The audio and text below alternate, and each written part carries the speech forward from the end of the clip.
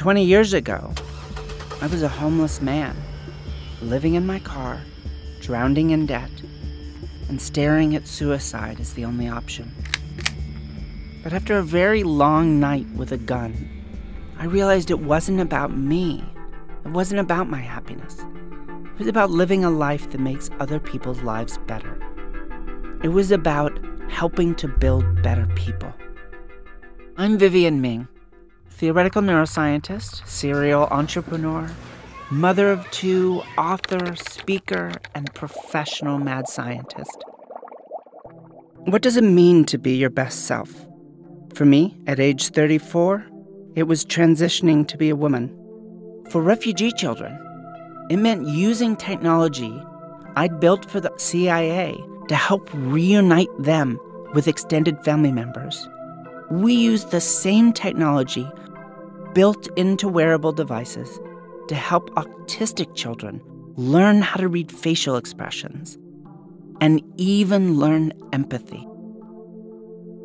When my son was diagnosed with diabetes, I hacked all of his medical devices and redirected the data to my server, where I built an AI to predict into the future whether his blood glucose levels will go high or low.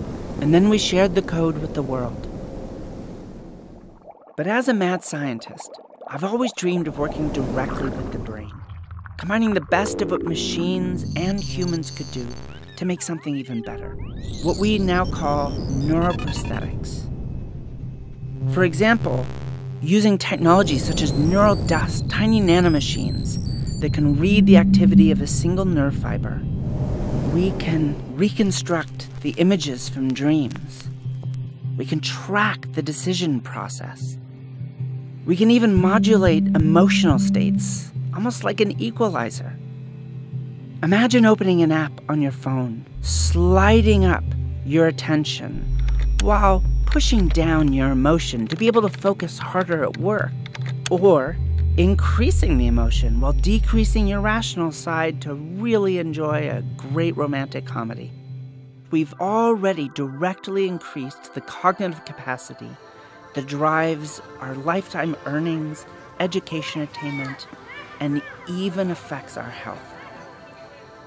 In our culture today, augmenting humans is a controversial subject.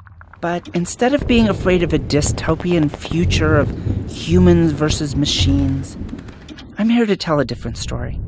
A warning of a future where only the select humans are augmented and others are not a future where augmented humans prevail over others, a future where a sweet 16 gift from wealthy parents fundamentally separates us as a species. We need to come together to be part of this discussion, to build a future where we all transition into being better humans together. I believe that all of the components that make up a person are the raw materials we use to write our own story. And my mission is to help people write the most amazing story they can. And I build technologies to help people do that.